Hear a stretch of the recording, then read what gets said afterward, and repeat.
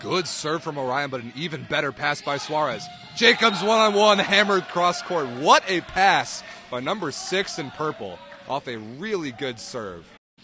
Gotta give the Liberos some love. So important to teams at this high of a level, and that was a dime